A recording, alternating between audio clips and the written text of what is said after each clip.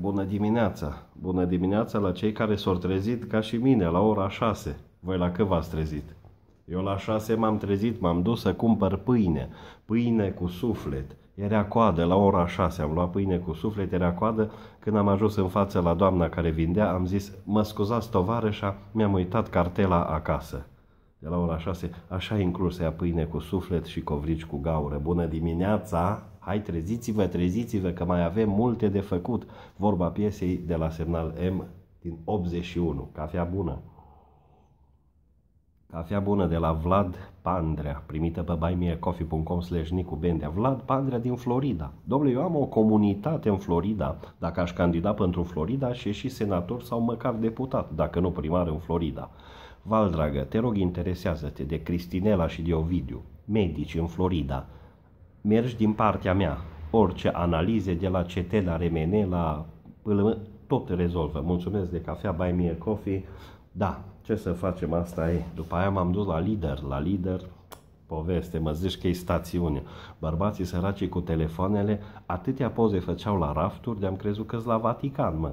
Am crezut că la Vatican, la Louvre, la unde e voie să facă poze, sunt vacanțe. Nu, săracii erau disperați, că nu găseau ce le-au zis doamnele pe hârtie, pe bilețel, pe listă și făceau poze la produse și trimiteau acasă. Oare e bine, mami? De asta se iau mami. Vai de mine, dacă ieșim tefer, dacă ieșim citav, dacă ieșim sănătoși din magia asta a sărbătorilor, înseamnă că e bine. Sunteți bine? Asta e vorba lui Vasile. Tot timpul când vine Vasile să mai lucreze una alta paci, domnul Vasile din Aiton ne adresează întrebarea asta. Sunteți bine? Ce frumos, ce întrebare bună. Sunteți bine? Că dacă ești bine, totul e bine. Vasile, care lucrează în echipă cu Emil, ăștia lucrează orice, de la instalații electrice până la acoperișuri, case, oameni cum să cade din Aiton. Și-a tăiat Emil un porc, ai de capul meu, 200 și ce, aproape 130 de kg, și-a pus lănina la sare. Și au zis că numai peste șase săptămâni o pune la fum de esență tare. Au zis că mi-aduce un kil, două, acum nu-l pot refuza pe om. Și domnul Vasile a zis că și el nu se lasă și mi-aduce o pereche de cărnați. Pot eu refuza așa ceva? Pot eu refuza darurile aitonenilor? Nu pot. Că acum se fac niște mezeluri de astea de casă, de nici nu-ți dai seama. De exemplu, este o trupă haiducii, știți de ea? Aia cu Nu știți, nici nu vă mai zic. În fine, și un solist din trupa haiducii, Cristi pe numele lui, s-a lăudat în presă că el face cărnații după o rețetă proprie. El pune și apă minerală atunci când frământă carnea pentru cărnați. Apă minerală. Înțeleg să pui apă minerală în șpriț, apă minerală când faci clătite vin cu apă minerală și o femeie pasională, mă, dar încărdat la son piz, las-o încolo. Mă cenzurează YouTube-ul. Las-o încolo, mă, cum să pui? Și asta ce urmează? După apă minerală încărnați, urmează să pui Pepsi de la Fuego în caletaboș? N-am înțeles. Am citit un articol, zice, tu știi cum se face toba perfectă? Citește și intră aici. Și era, era rețeta aia pe care o știm din bătrâni, din moși strămoși.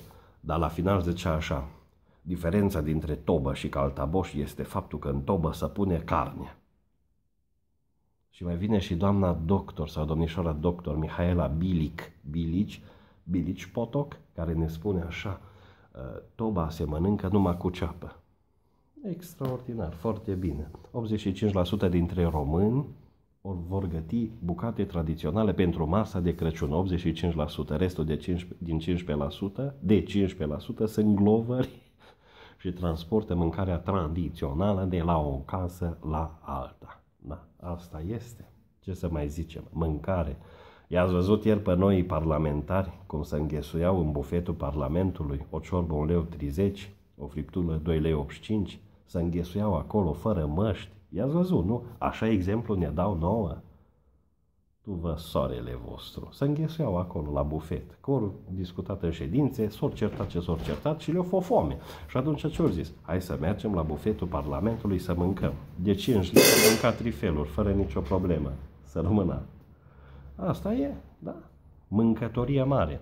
Și tipul ăla, știți că e unul arestat, îi se zice mâncătorul de femei. Nu știu, le mânca de tăți sau numai le mânca parțial. Au fost dus uh, ieri la judecată și l-au dus doi polițai, mă.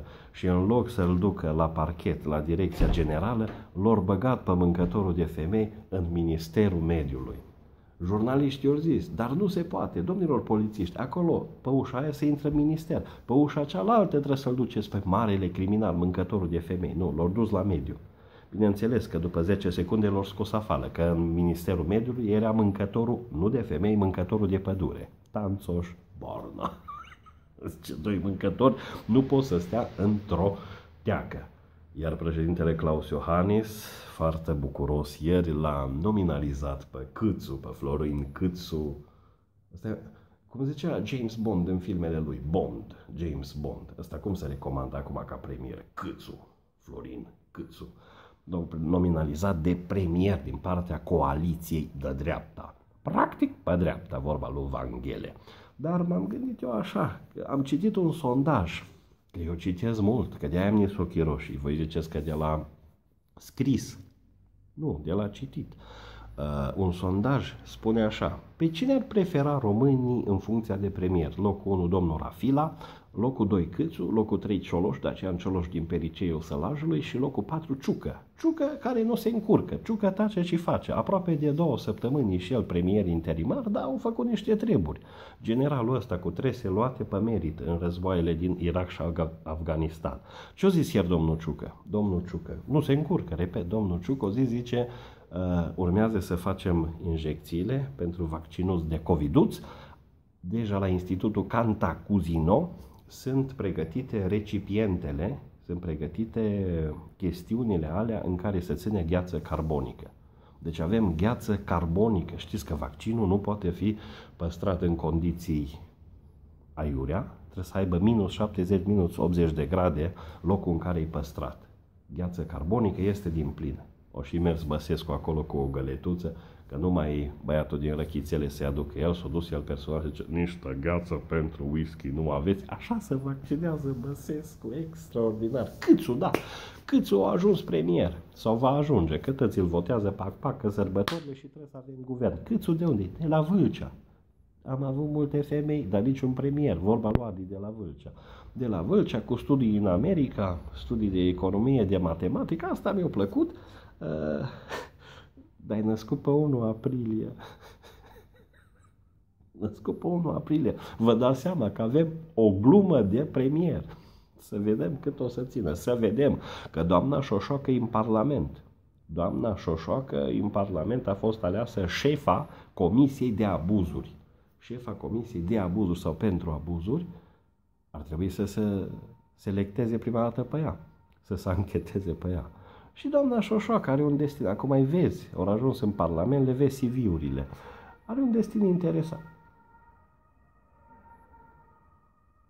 Mai trece și câte o salvare, că oameni suntem, Doamne, dă sănătate și să se recupereze. Aș vrea chiar să văd știri între Crăciun și Anul Nou cu mai mulți români internați din cauza excesului de sarmale decât de guvid. Dar mai vorbim despre asta. Doamna Șoșoacă e la a treia căsnicie.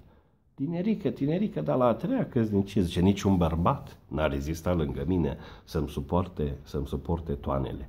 Bărbatul sau ceva băiat de afaceri, dar care între timp a renunțat la jobul său și o mers lângă dânsa în cabinetul de avocatură să o apere, că avea nevoie, doamna Șoșoacă, putea, zice, puteam să rămân în Canada, să emigrez în Canada și să rămân acolo.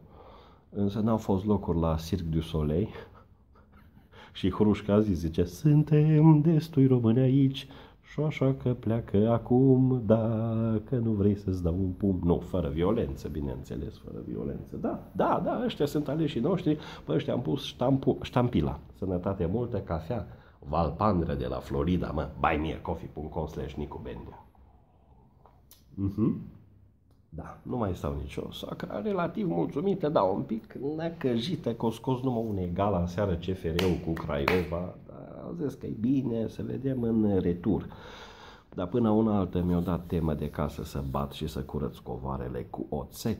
Voi cu ce vă curățați covoarele în perioada Crăciunului? Da, să aduc piper negru măcinat, că numai asta lipsea în casă, și vegeta, da, albastră, nu cu bucătarul ăla cu mustață pe ea. I-am zis, nu mai pune vegeta, că nu mai e la modă. Dar ce, ce vrei să spun în sarmale? Android?